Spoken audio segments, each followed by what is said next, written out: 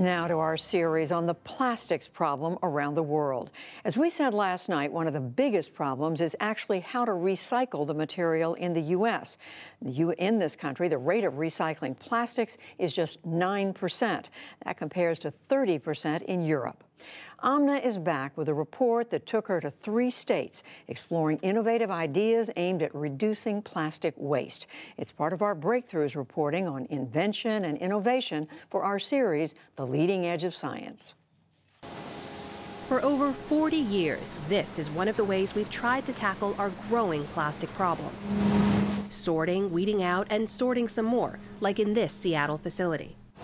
Every day, an estimated 750 tons of material flow through this process.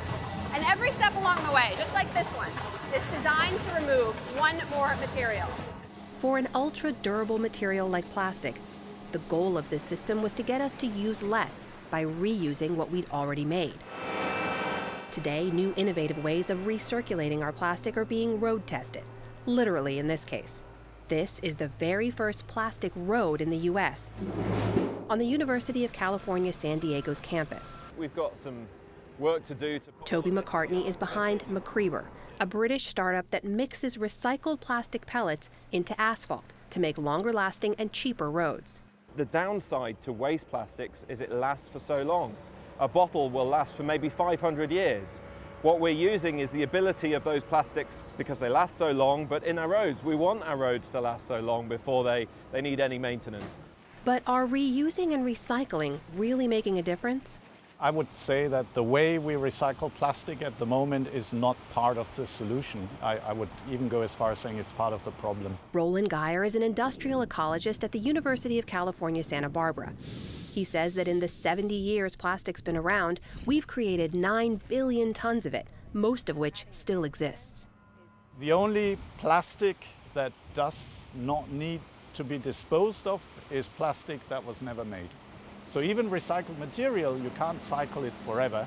Not all plastics are created equal. Becca Fong of Seattle Public Utilities walked us through the city's impressive and growing recycling effort. Still, she says, the process isn't perfect. It's geared to capture certain types of plastics of certain sizes. And if it doesn't fit into those categories, it's not really recoverable. So speaking of certain sizes, something like this, a tiny little plastic straw. Where does something like that straw fit? The fact that it made it here is pretty impressive, but the vast majority of small items are going to fall through the machinery and not be able to be recovered to be recycled. So Seattle started small, and in July became the first major city in the U.S. to ban all plastic straws. It is that piece of material that is so small and so nuanced and actually kind of an extra for a lot of people mm -hmm. um, that it actually makes people stop and think, do I really need to have this straw? And that's probably the bigger impact. A straw that I use today in Seattle can end up in the Pacific Ocean and last there for thousands of years. Or it can return back to your plate in 10 years as microplastics embedded in some fish. Mami Hara heads up Seattle Public Utilities. Before her team could implement and enforce the straw ban, which also includes plastic utensils, they had to get local businesses on board. For a lot of businesses, it hasn't been a hard sell. For those who are concerned about the price point, we try to work with them to find viable alternatives that don't impact their purse too much. We'll buy about a million straws this year, and the cost of straws has tripled. Bob Donegan is the president of Ivar's, an 80-year-old Seattle seafood institution. We don't routinely put a straw in a drink. We ask everybody, would you like a straw? And they can always have one.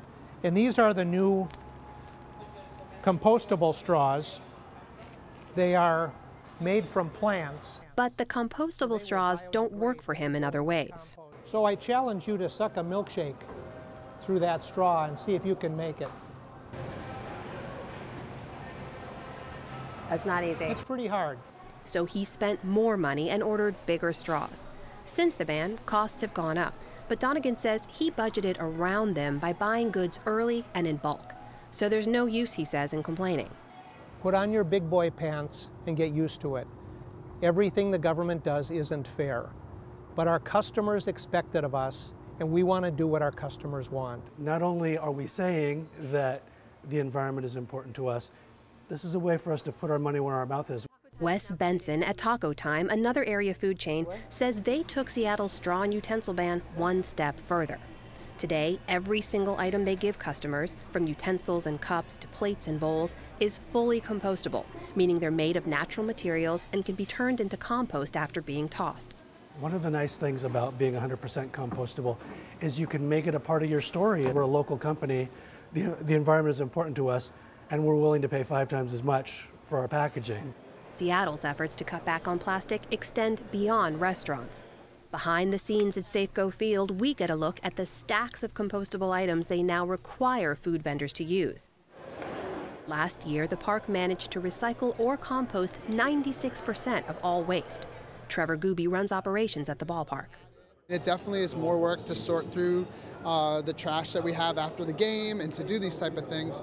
But again, we feel it's really important for our business and it's important because our fans are asking us to do it. Were you going to dry those up?